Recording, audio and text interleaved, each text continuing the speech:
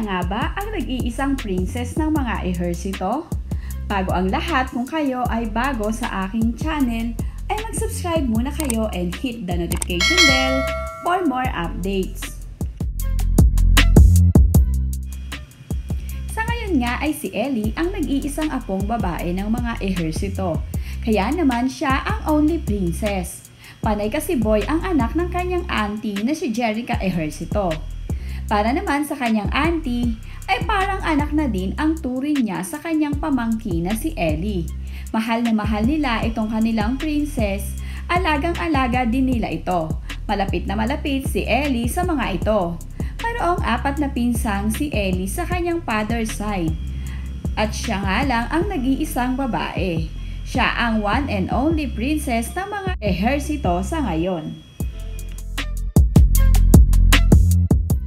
Makikita naman natin sa mga larawan at video na ina-upload ng pamilya Ejercito na sobrang saya nila kapag kasama nila ang kanilang only princess na si Ellie. Kamakailan nga ay ipinagdiwang nila ang 9th birthday ni Ellie. Sa Tagaytay pa ito ginanap. Super saya naman ng mga ito kasama si Ellie.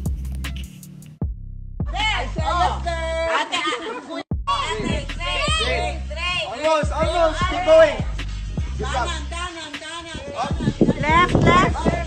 Yeah, that's good. That's good. Straight, straight.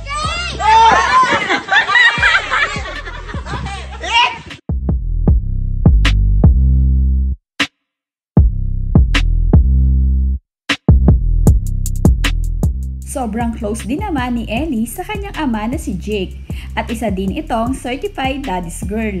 Palaging din sila nagbabanding ng kanyang daddy at napaka-sweet nila sa isa't isa.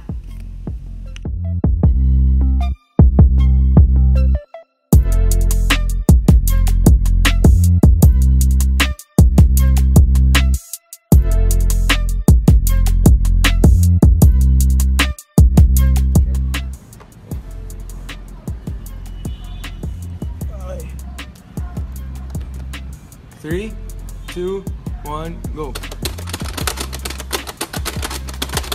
Oh no, oh no, oh no.